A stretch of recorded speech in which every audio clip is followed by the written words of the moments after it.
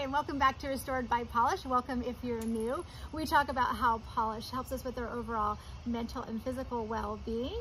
Today we're doing the next topic Tuesday. We kind of missed the last one because it was came out pretty late that Yeah, topic, so yeah. maybe we'll get around to doing that one. We're doing the one uh, that's on time for for this round, um, which is favorite gray polishes. And I researched this because I have to, because that's just how I am. Because as I was going through like my collection, I have a lot of polishes that are super metallic-y looking, and I was deciding like, well, is that really gray or is that silver? And when I researched actually how gray is defined, gray is defined as not metallic in Hmm. any way. So, that no kind of- metallics, which makes it not very much fun. Mm, true, but no, there's some fun ones here. I think. I mean, uh, these. If I'm gonna wear gray, I want it to be metallic. Just me personally. Okay, so but then it's not. It's not Silver. Really gray. I'd rather do silver. It's silver, exactly. I don't think I would pick gray. Yeah, so that's why um, you know we're going with just straight up gray. We're not going to do silver because I think silver just goes into its own category. Yes. So, so that there's that. All right, so we've picked out five.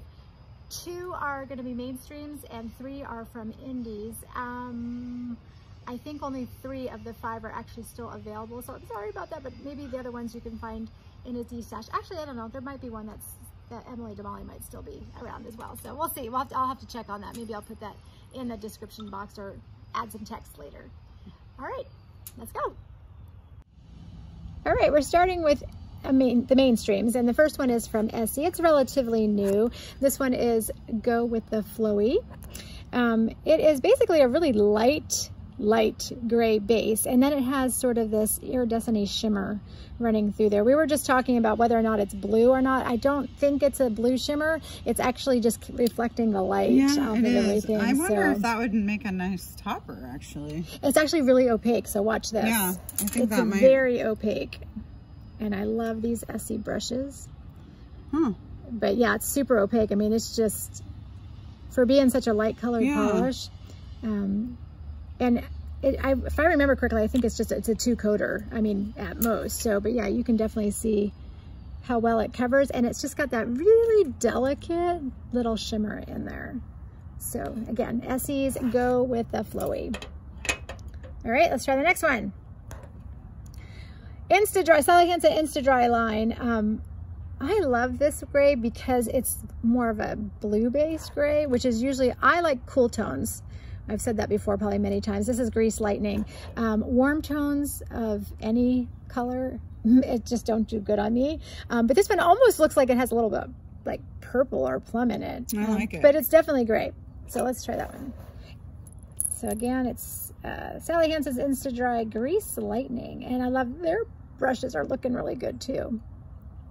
Nice and opaque. Just a tiny, tiny bit streaky, but for a straight up cream, if you're looking for like a base for nail art, um, that one is perfect for that.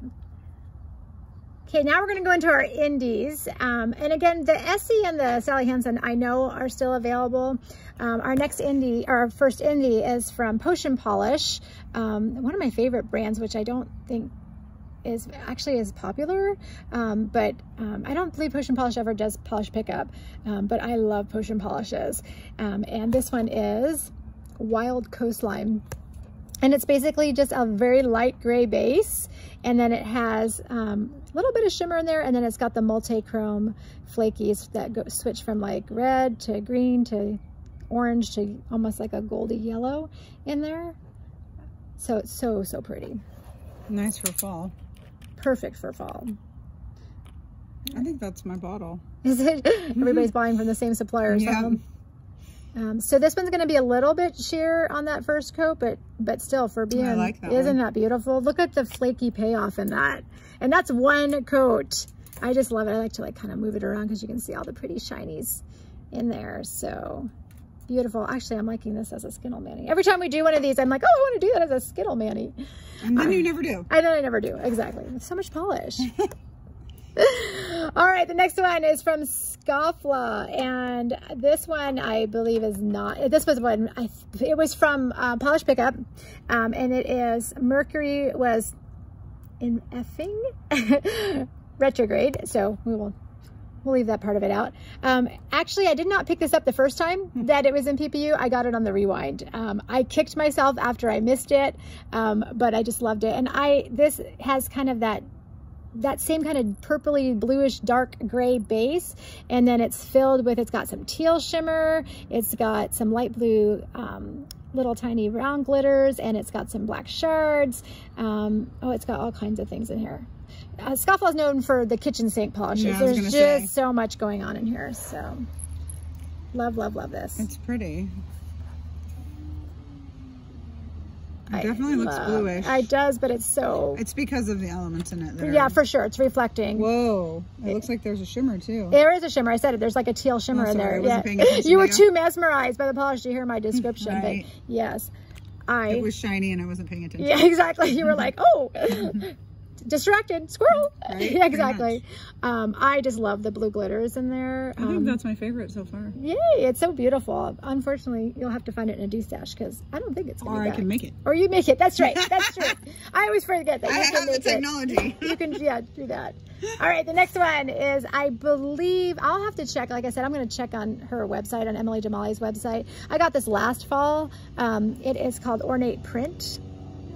Print there. Um, again, it's a dark gray base, um, Pretty. and it's got different uh, multi-chrome flakies, not just like the autumn colors, but I'm also seeing like ultraviolet blue and electric blue um, in there. Um, and I don't, actually, I don't think that there's any shimmer in there. I think it's just packed with flakies. So pretty. Let's try that one. All right. Oh, we're getting airplane noise again. And every time we film, we always have the airplane going. Yes. So this one I think is a little, um, it's packed with flakies, but they're kind of like a subtle, a subtle flake. You know what I mean? Like it's not as in your face, which was one of the reasons why I liked it because I wanted, sometimes you don't want something Yeah. that's just going to like completely jump off your nails. So, um, and I really, really like that dark, the dark gray base on that one. Hmm, those are pretty. Love them all. Love them all. All right, so we're gonna stop, pause here for a second. We're gonna apply second coats and some top coat, and then we'll be back. All right, and we're back. And I we added um, a second coat. These are all all of these only have two coats. Um, so second coat to each of these and a glossy top coat. I will say though that um, the second one there, the the dark gray, I was a little little fast and rushed it, so there's going to be some air bubbles in there. I apologize for that. Um, so this first one here is um, Essie's Go With The Flowy, um, and I just love that pale. That kind of very, very pale, like dove gray. nice really for pretty. a dress up night. For a fancy night out. Well, maybe for you, but that's not really dress up fancy for me. I guess if leave it to you to pick the the, the most nude looking, um, simple. She's spitting her coffee out over here. sure, out of all those, the one that I would pick for most dressy would not actually I was be that thinking one. sophisticated. Okay, sophisticated. All right, all right. like you're going to something like you're like this, the, like the little black dress, and you're gonna put that on there Yes, with it. see? I, I don't know. I think I would still have to add something to that to kind of I, bring I it like up. but- it. Fine. All right, the second one is the Grease Lightning from Sally Hansen, Sally Hansen Insta Dry. Um, nice base for doing stamping on, I think. Um, Potion Polishes, um, Wild Coastline. Again, this one I believe is still available. That's two coats with glossy top coat. I love it. Love, love, love it. My personal favorite. And my personal favorite, I think, too, if I was going to pick from all of these, is this Scofflaw, which is Mercury So was an effing retrograde. Just love it. So pretty. And then the last one is Emily de Molly's um, Ornate Print, which um, has all those beautiful different color uh, chrome flakies in there. Yeah, Multicolored pretty. flakies. So pretty. I think that one's just, I love it because it's under, like understated for me.